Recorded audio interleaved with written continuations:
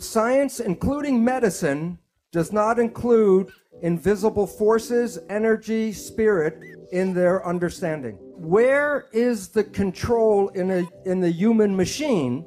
Francis Crick created what is called the central dogma. It is like the Ten Commandments of biology. It says that you are protein and the information flows in one direction from DNA to RNA to protein, which is you.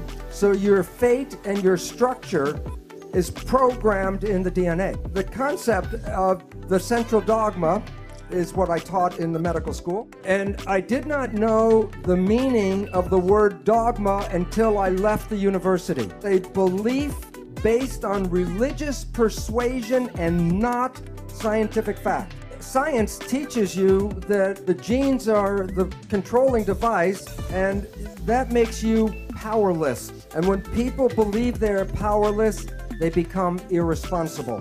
The leading causes of death in the United States are number three, cancer, with 553,000 people die every year. Number two is cardiovascular disease, with 700,000 people die every year.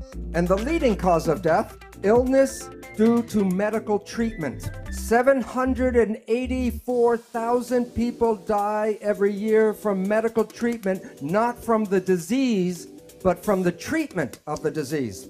Over 300,000 people die from prescription drugs. So the belief in the medical model is false.